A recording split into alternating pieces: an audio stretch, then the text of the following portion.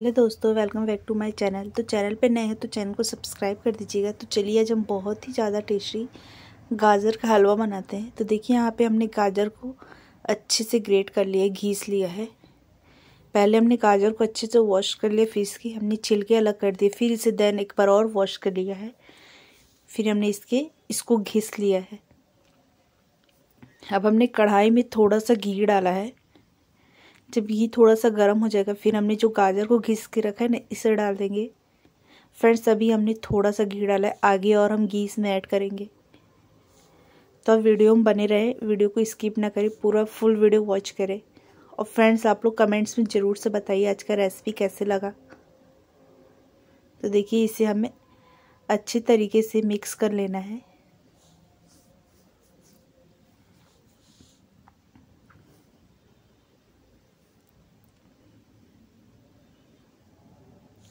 Friends किस किस को मेरी आपको भी अगर मेरी तरह गाजर का हलवा बहुत ज़्यादा पसंद है तो आप लोग कमेंट्स में बताना कि किसको ज़्यादा पसंद है। किसको किसको मेरी तरह बहुत ही ज़्यादा गाजर का हलवा पसंद है। मुझे तो बहुत ही पसंद है और मैं इसे विंटर में ज़रूर से मतलब इसे मतलब बहुत ही बनाती हूँ मैं विंटर में। क्योंकि सिर्फ़ ये विंटर सीज़न में ही तो हमें खाने के लिए मिलता है, जो मतलब अच्छा वाला गाजर रहता है वो।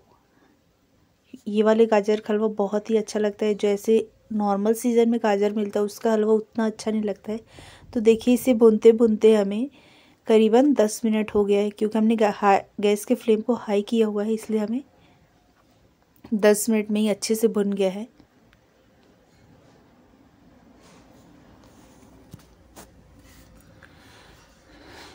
तो इसे फ्रेंड्स हमें भुनने के लिए अच्छा खासा टाइम चाहिए। बिल्कुल भी भुनने में कंजूसी मत करना। अच्छा खासा इसे टाइम लेकर फ्री हो, तभी अच्छे से इसे बनाना। मेरे एक मैथ, एक एक मेथड को फॉलो करना। तो हमने यहाँ पे एक कटोरी शक्कर डाल दिया है। अब शक्कर के साथ भी हम गाजर को चार से पाँच मिनट तक भुनेंगे। अगर इस तरीके से आप शक्कर डालते हैं ना तो गाजर का हलवा का कलर बहुत ही बढ़िया मतलब रेड निकल के आता है।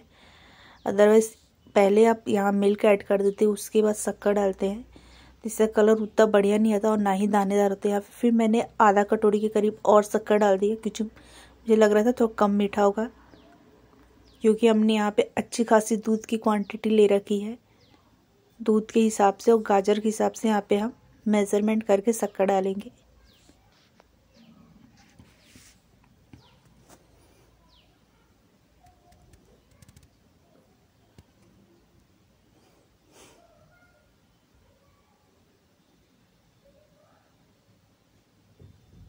तो देखिए हमने अच्छे तरीके से मिक्स करते रहे। देखिए, हमने यहाँ पे शुगर डाल दिया है, शक्कर डाल दिया है तो बहुत ही अच्छे तरीके से और ही बढ़िया तरीके से हमारा गाजर बन जाएगा, क्योंकि शुगर से पानी रिलीज़ होता है, इसलिए और भी मतलब अच्छे तरीके से बुनेगा। अगर आप इसमें शक्कर नहीं डालते, ऐसे बुनते हैं तो इस कंडीशन में गाजर जल जाते हैं।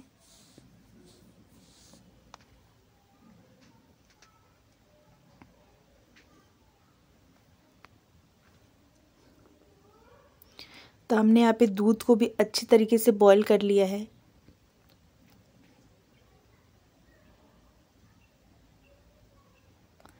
अब हमारा गाजर अच्छे से भुन गया है। अब हम इसी स्टेज पे दूध को यहाँ पे डाल देंगे। तो फ्रेंड्स दूध को डालते समय एकदम केयरफुली हमें दूध को डालना क्योंकि अच्छा खासा बॉईल किया हुआ हमने यहाँ पे दूध डाला है। अब इसे डाल के अच्छे तरीके से मिक्स कर देंगे। देखिए, आपको मैं एक इसका टॉप सीक्रेट बताती थी। आप अगर इस यहाँ मतलब इस तरीके से दूध डालते ना तो बहुत ही अच्छे तरीके से फट जाता है दूध। मतलब थोड़ा थोड़ा फटता है, ज़्यादा नहीं, जो कि खाने में बेहद टेस्टी लगता है, बहुत ही बढ़िया लगता है। अब यहाँ पे हमने तीन से चार इलायची को खोल लिया है। दरदरा बस थोड़ा सा इसे कूटा है, ज़्यादा नहीं कूटा है। ज़्यादा कूटेंगे तो थोड़ा सा इसमें कड़वापन का फ्लेवर आ जिससे इसे हल्का सा बस खोल लेना है।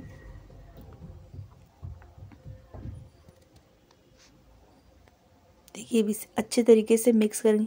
तो फ्रेंड्स जल्दी से जल्दी मेरे वन थाउज़ेंड सब्सक्राइबर कंप्लीट कर दीजिए कि मेरा भी चैनल मोनेटाइज हो जाए। और आपके साथ एक छोटी सी पार्टी भी हम इंजॉय करेंगे वन थाउज़ेंड सब्सक्राइबर हो जाने पे।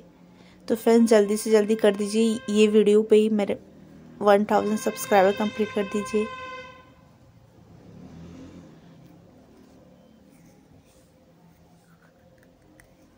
क्योंकि मैं अभी वन थाउज़ेंड सब्सक्राइबर के बहुत ही करीब हूँ फ्रेंड्स तो जल्दी से मेरे वन थाउज़ेंड सब्सक्राइबर कंप्लीट कर दीजिए।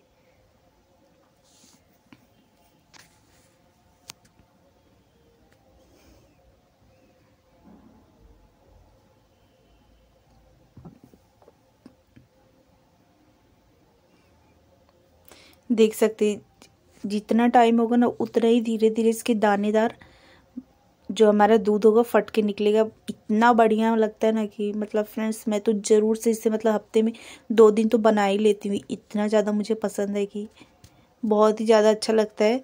और मैं कभी कभी विदाउट घी का भी बनाती हूँ, जो मैंने आपको ये वाली रेसिपी डाला हुआ है। अभी तक आपने वाला रेसिपी नहीं देखा है तो जाके वॉच कर लीजिए कि बिना घी का भी हम गाजर हलवा कैसे बना सकते हैं।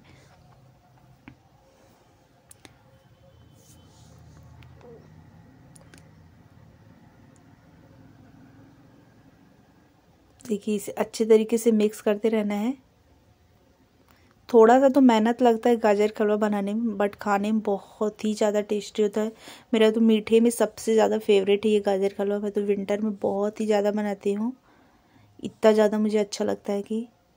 तो देखिए, हमारा दूध अच्छे तरीके से पक गया है, देखिए। बहुत ही अच्छे तरीके से हमारा हलवा अच्छे से बन के तैयार हो गया है। यहाँ पे हमने किशमिश डाला है, क्योंकि हमें इसमें किशमिश डालकर मतलब किशमिश वाला फ्लेवर ज़्यादा अच्छा लगता है। और बाकी हम काजू वज़ू नहीं डालते हैं, क्योंकि मेरे यहाँ सब पसंद नहीं करते उस टाइप का।